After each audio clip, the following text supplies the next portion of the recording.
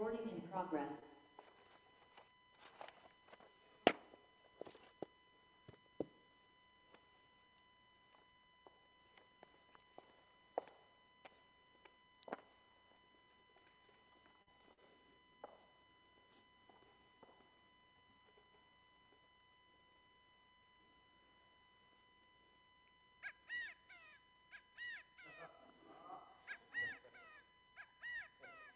That is a California quail. Today I'm thinking of quails because of the Old Testament lesson that we heard today. In the Old Testament lesson that we hear today, we hear about how God will send to the starving Israelites in the desert flesh and bread. And that flesh came in the form of quails that were blown in from the, the ocean side into the desert or maybe the Gulf, I'm not sure. So you have seen the movie, some of you, The Ten Commandments by Cecil Day, yes, B. DeMille. And I'm thinking of this one scene in the movie where they're complaining against Moses and Aaron, and they're like, Have you brought us out to Egypt just to watch us die? Oh, those flesh pots and the onions and you know, the bread, and we just, we, we want to go back, right? And, and so Moses prays to God, oh my God, these people you've sent me, they're going to kill me. And God says, don't worry, I'll send them some flesh and some bread. And, and it'll come in the form of quails and manna, and you'll be okay. So in the movie, when the quails come in, the wind's blowing, and the quails are coming in, and it's such a strange scene because they're catching the quails like they're catching baseballs, you know, and they're just kind of catching them. And then there'll be a close up on their face, and they'll just look like mad with starvation, like they're so hungry, and they're clutching the quails. And even though you don't see how they eat them, you kind of imagine off screen, off screen that they're like, and it's like you know, and it's all bloody. And so, like, you kind of, because you don't, they look crazed, right? And so it's pretty icky. and that's how the people in the crowd are reacting today when they hear about Jesus. Right? So we're in the fifth week of this whole bread of life, chapter six, right? The final week right? And in this final, so up to this point, we've really focused on the bread, right? The bread of life, the bread of heaven, et cetera, et cetera. And sometimes we'll talk about the water, right? The living water. But we know that in chapter six, it's more than bread and water, right? Right? It began with the scene of the multiplication of loaves and what? Fish, right? So there was this, the flesh of the fish. And when we uh, think about this Exodus, Exodus story, often think of the manna, right? Who thinks about the quail, right? So there's this flesh component that is there, but it gets kind of lost when we focus on the bread and the water. And that's because those are kind of easy. They're not like bloody and kind of disgusting, right? But today, Jesus, like, he, where did the flesh come from? Where did this drink my blood come from?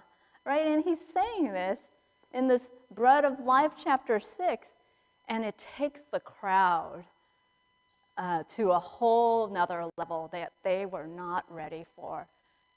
He raises the ick factor, right? He's like, unless you eat my flesh, and drink my blood. They're like, wait, wait, wait, you were talking about bread and living water, and now you're like, eat my flesh and drink my blood.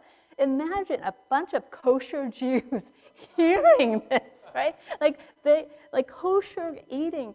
You know, if you slay an animal, you have to drain all the blood so that none of it hits your mouth. And he's like, you got to drink my blood. Okay.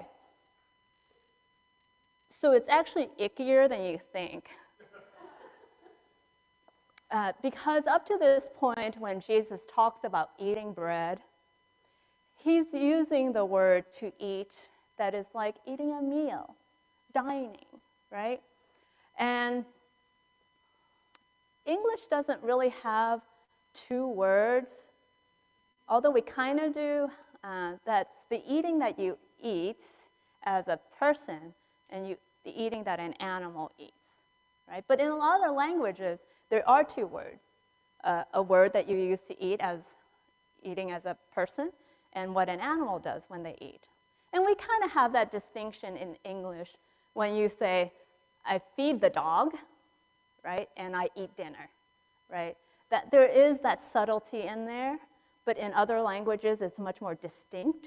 Like you wouldn't interchange those feed and eat, which we kind of do. Right, don't eat like a pig, right? That kind of thing. So in, uh, in Greek, though, the ancient Greek, the, the words to eat, there are two words at least, uh, but the words, the two words used here, up in all of chapter six, up to today, or last week we also read part of this, Jesus changes the word from eating, as in dining, to eating like an animal. Okay, so before it was eat the bread, eat the fish, right?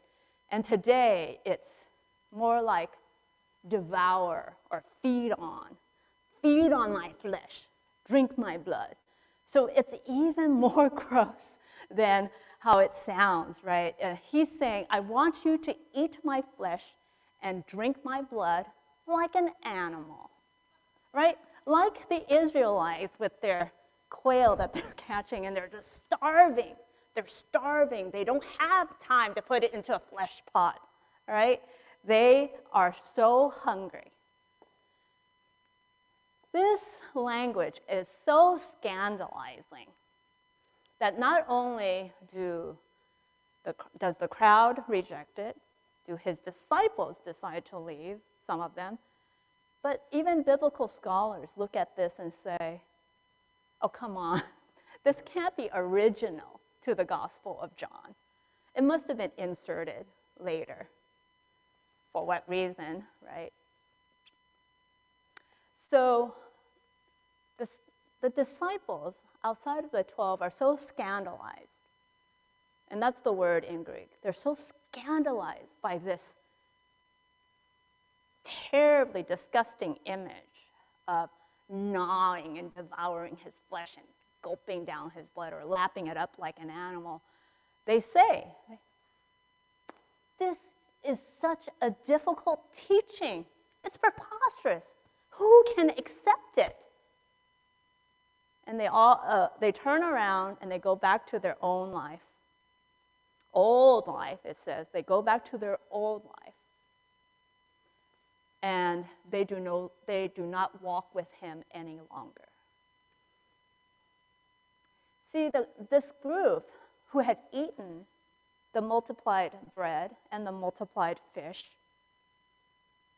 they were fine with that right? They were fine because they were used to, as I had talked about, with bread and circus.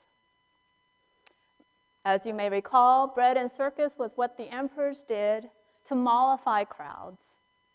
And they would dole out the bread and then give them a circus. And a circus wasn't clowns or juggling, it was Circus Maximus, where the gladiators killed them, each other. So entertain them with violence give them free bread, and they won't push back on the policies of the empire.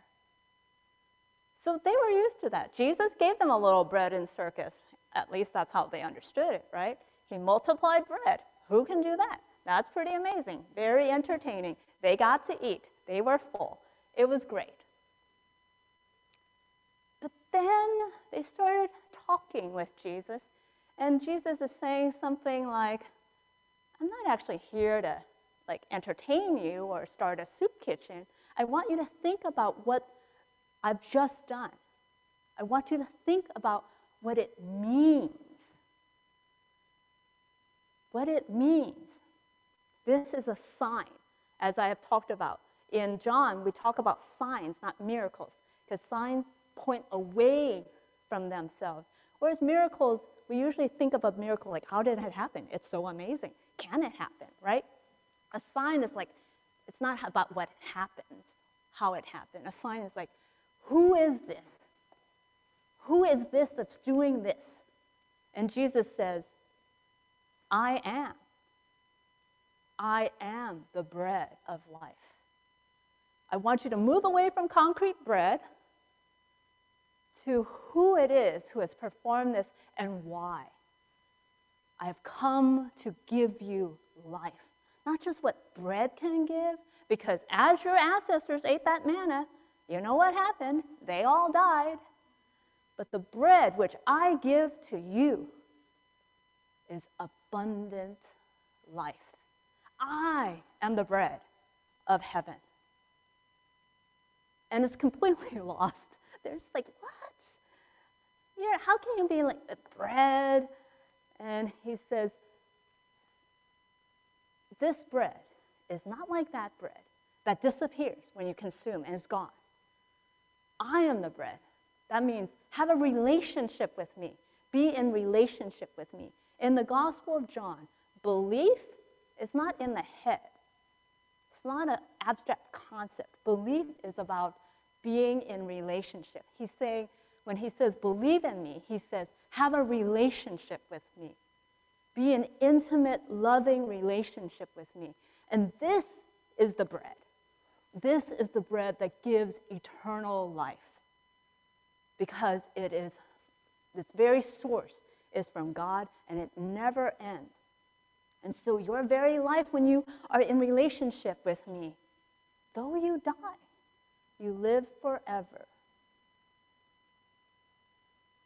And this was very confusing. It's still hard for us today to have present tense eternal life because, you know, as that uh, theologian Teilhard de Chardin once said, we are not human beings having a spiritual experience. We are spiritual beings having a human experience. Our first primary identity is that we are yoked to the eternal.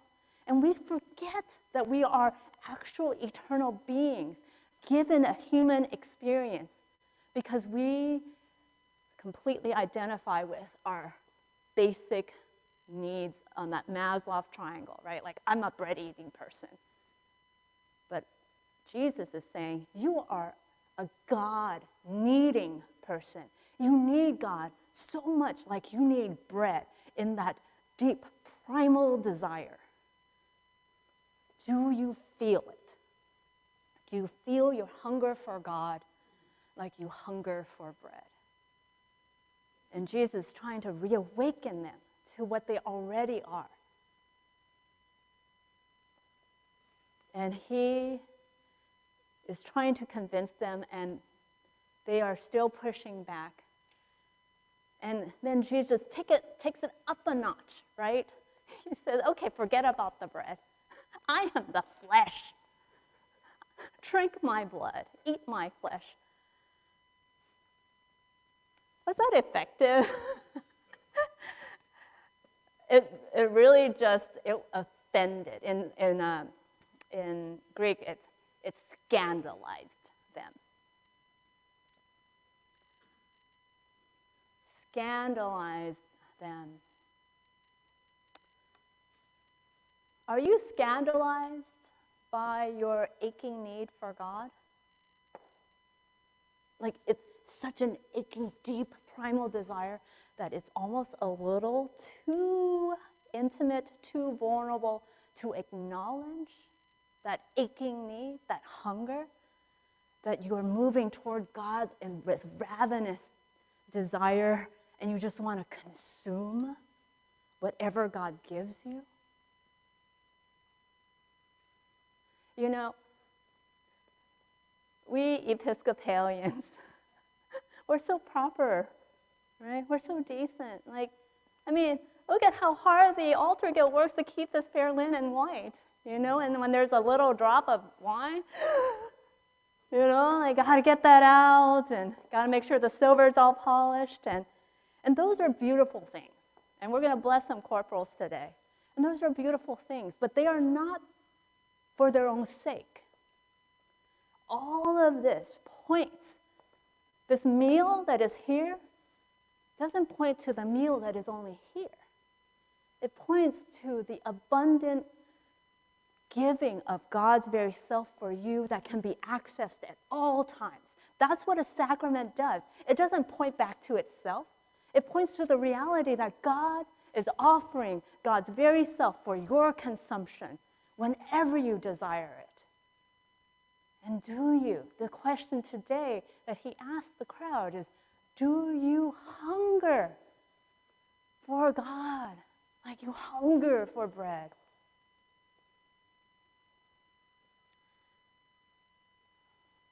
So, what do you think? Is it, it's a very vulnerable thing to have that kind of desire. But that is what's being offered, that abundance. And God and Jesus are saying, consume this abundant life I give you, consume this love that I give you. Don't feel like you have to be measured and proper and perform an outward thing. Come to me with all your hunger, and you will be satisfied.